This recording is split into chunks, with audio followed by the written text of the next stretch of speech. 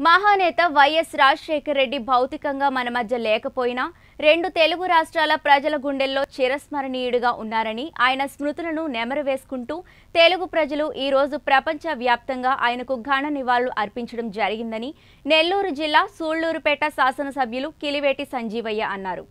దివంగత ముఖ్యమంత్రి వైఎస్ రాజశేఖర్ రెడ్డి పదకొండవ వర్ధంతి సందర్భంగా నెల్లూరు జిల్లా నాయుడుపేట పాత బస్టాండ్ వద్ద ఆయన విగ్రహానికి సోళ్ళూరుపేట శాసనసభ్యులు కిలివేటి సంజీవయ్య పూలమాలలు వేసి ఘనంగా నివాళులు అర్పించారు.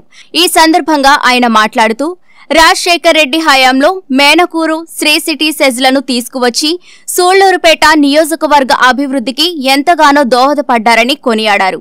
ఈ కార్యక్రమంలో వైసీపీ పట్టణ అధ్యక్షుడు seven eight six Rafi Katta ఈ సుధాకర్ రెడ్డి వెంకటరమణారెడ్డి కిషోర్ యాదవ్ రత్నశ్రీ తదితరులు పాల్గొన్నారు.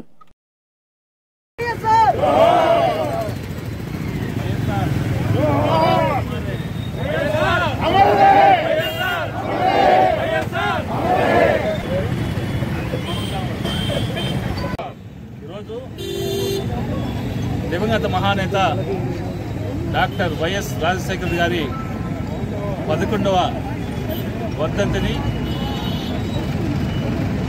తెలుగు రాష్ట్రాలు రెండింటిలో కూడా పల్లి పల్లెలో ఆయన్ని తలుచుకుంటూ ఈరోజు ఆయనకి ఘనమైన నివాళుల్ని అర్పిస్తూ ఉన్నారు.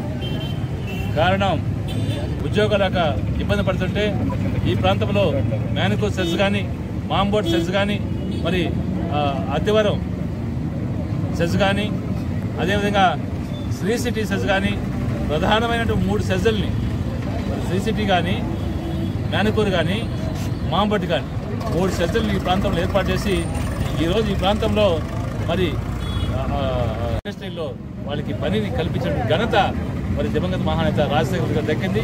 మరి ఈ ప్రాంతంలో ఉన్నటువంటి ఐటీ చదువుకున్న వాళ్ళు డిగ్రీ చదువుకున్న వాళ్ళు ఈ పాలిటెక్నిక్ చేసిన వాళ్ళు ఎంతోమంది మరి వేలాది మంది ఇంచుమించు యాభై అరవై వేల మంది మరి ఈ ప్రాంతంలో ఉపాధి అవకాశాలు పొందారంటే దానికి కారణం దివంగత మహానేత రాజశేఖర్ గారిని ఎప్పుడు కూడా స్మరించుకోవాల్సింది ఈ ప్రాంతం వాళ్ళు.